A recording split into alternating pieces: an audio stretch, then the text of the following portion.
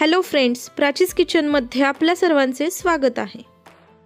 आजची आपली रेसिपी आहे उपवासासाठी चालणारे डोसे त्यासोबत उपवासासाठी चालणारी बटाट्याची भाजी आणि चटणी. आता आषाढी एकादशी येते आणि बरेच जण त्या दिवशी उपवास करतात. तर नेहमीपेक्षा उपवासाच्या दिवशीच आपल्याला खूप जास्त भूक लागते आणि काहीतरी वेगळं खायची इच्छा होते. त्यामुळे आज आपण काहीतरी वेगळं उपवासासाठी चालणारे हे मस्त आणि टेस्टी असे डोसे कसे बनवायचे आणि त्याचसोबत उपवासासाठी चालणारी ही बटाट्याची भाजी आणि चटणी कशी बनवायची ते आपण आज पाहणार आहोत. फार काही वेगळ्या साहित्याचा वापर इथे करणार नाही. अगदी साध्या सोप्या घरगुती साहित्यांमध्ये हे मस्त आणि टेस्टी असे डोसे कसे बनवायचे ते आपण पाहूया. अतिशय छान जाळीदार हलके आणि कुरकुरीत असे हे डोसे तयार होतात. चला तर मग रेसिपीला सुरुवात करूया. सर्वप्रथम डोसा बनवण्यासाठी इथे मी एक कप हे वरईचे तांदूळ घेतलेले आहेत. काही जण याला भगर असे देखील म्हणतात. हे वरईचे तांदूळ तुम्हाला मार्केटमध्ये इझिली मिळतील. यानंतर इथे मी अर्धा कप साबुदाणा घेतलेला आहे. एक कप वरईचा तांदूळ तुम्ही वापरत असाल तर त्यासाठी अर्धा कप साबुदाणा इथे वापरायचे. आता दोन्ही गोष्टी पाण्याने स्वच्छ अशा धुवून घ्यायचेत. कारण यामध्ये जर कुठे धूळ वगैरे असेल तर ती पूर्णपणे स्वच्छ होते. इथे मी मिक्स करून हे तांदूळ आणि साबुदाणा स्वच्छ धुवून यातील पाणी काढून घेतलेले आहे. आता याच पद्धतीने अजून एक ते दोन वेळा हे साबुदाणा आणि तांदूळ पूर्णपणे स्वच्छ असे धुवून घ्यायचेत. आता यानंतर यामध्ये इथे मी दीड ग्लास पाणी घातलेले आहे. साबुदाणा आणि तांदुळाच्या वरती दोन पेर बोटांचे बसतील इतपत पाणी यामध्ये घालून घ्यायचे आणि रात्रभरासाठी किंवा पाच ते सहा तासांसाठी तुम्हाला हे साबुदाणा आणि तांदूळ भिजवून घ्यायचे. इथे मी रात्रभर हे साबुदाणा आणि तांदूळ भिजवून घेतलेले आहे. साबुदाणा आणि तांदूळ पूर्णपणे छान असे भिजले गेलेले आहेत. आता यातील वरचे पाणी काढून घ्यायचे. आता पाणी निथळल्यानंतर हे साबुदाणा आणि तांदूळ मी मिक्सरच्या एका मोठ्या भांड्यामध्ये काढून घेतलेले आहे. आता यानंतर यामध्ये अर्धा कप दही घातलेले आहे. त्याचसोबत अर्धा कप पाणी घालायचे आहे आणि चवीप्रमाणे मीठ घालायचे आहे. आता हे सर्व साहित्य मिक्सरमध्ये पूर्णपणे बारीक असे वाटून घ्यायचे आणि डोशासाठी लागणारे बॅटर तयार करून घ्यायचे. इथे मी या प्रकारे हे पीठ बारीक करून घेतलेले आहे. आता तयार करून घेतलेले हे पीठ मी एका भांड्यामध्ये काढून घेतलेले आहे. इथे तुम्ही पाहू शकता हे पीठ खूप जास्त घट्टही नाही आणि पातळही नाही. या कन्सिस्टन्सीमध्ये हे पीठ आपल्याला तयार करून घ्यायचे आहे.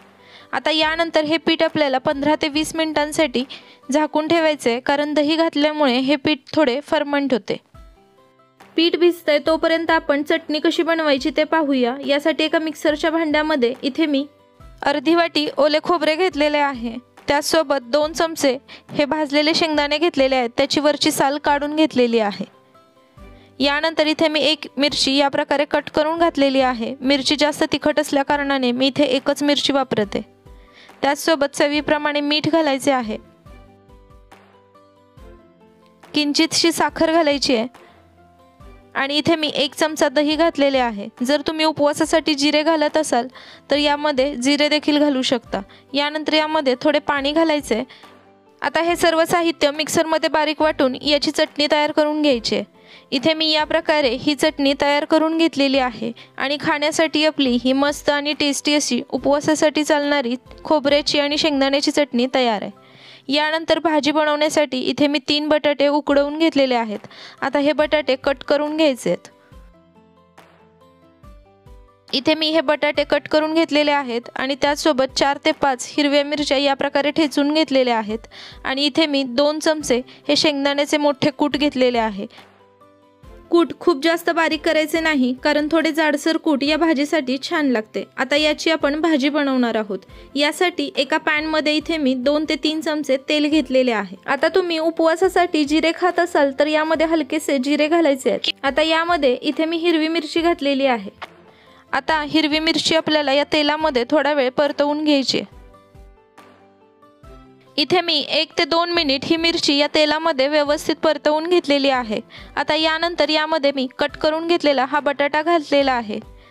त्याचसोबत यामध्ये चवीप्रमाणे मीठ घालायचे आहे आणि एक ते दोन मिनिटांकरता हा बटाटा या मिठामध्ये व्यवस्थित परतवून घ्यायचे.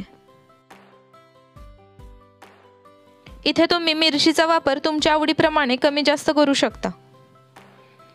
आता यानंतर यामध्ये दोन चमचे हे शेंगदाण्याचे कूट घालायचे आहे. त्याचसोबत अगदी किंचितशी साखर आणि थोडा लिंबाचा रस घालायचा आहे.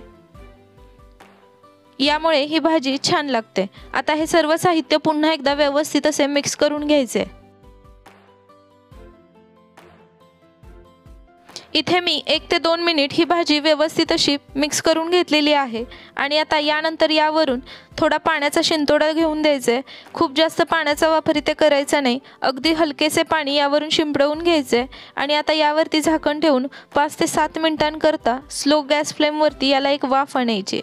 पाच ते सात मिनिटांनंतर इथे तर आपण पाहू शकतो भाजी व्यवस्थित शिजली गेलेली आहे. काही जण उपवासासाठी कोथिंबीर देखील वापरतात. जर तुम्हाला आवडत असेल तर यावरून तुम्ही कोथिंबीर देखील घालू शकता. आता खाण्यासाठी ही आपली बटाट्याची भाजी तयार आहे. पंधरा तीस मिनिट झालेले आहेत आणि इथे हे पीठ व्यवस्थित असे भिजले गेलेले आहे. आता आपण याचे डोसे बनवणार आहोत. यासाठी इथे मी एक डोसा पॅन घेतलेला आहे. सर्वप्रथम याला थोडेसे ऑइल लावून घ्यायचे आणि हे ऑइल एका टिश्यू पेपरच्या सहाय्याने पुसून घ्यायचे. कारण यामुळे डोसा खाली चिकटणार नाही. आता यानंतर यावरती तयार करून घेतलेले हे बॅटर घालायचे आहे. आणि आता याचा या पद्धतीने डोसा स्प्रेड करून घ्यायचे. मस्त जाळीदार असे याचे हे डोसे तयार होतात. आता यावरून इथे मी एक चमचा तूप घातलेले आहे. तुम्ही तुमच्या आवडीप्रमाणे याला तूप किंवा तेल लावून घेऊ शकता.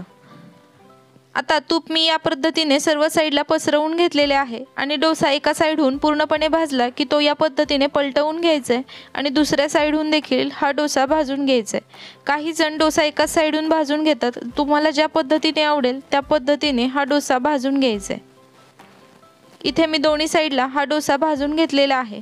मस्त आणि क्रिस्पी असा हा डोसा खाण्यासाठी तयार आहे.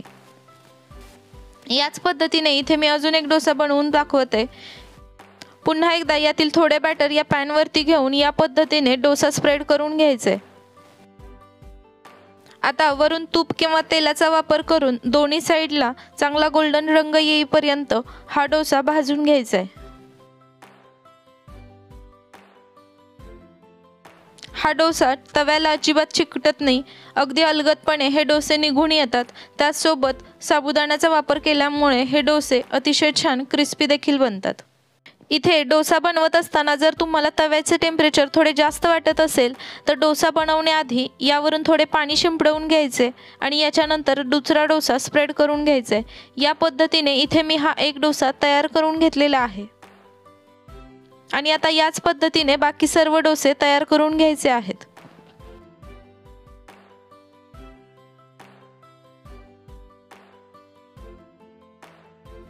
खाण्यासाठी हे डोसे तयार आहेत.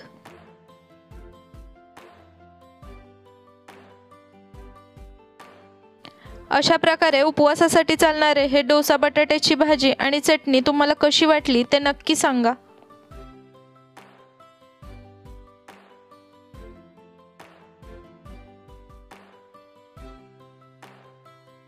ही रेसिपी तुम्हाला आवडली असेल तर लाईक करा शेअर करा आणि चॅनेलला सबस्क्राईब करा. धन्यवाद.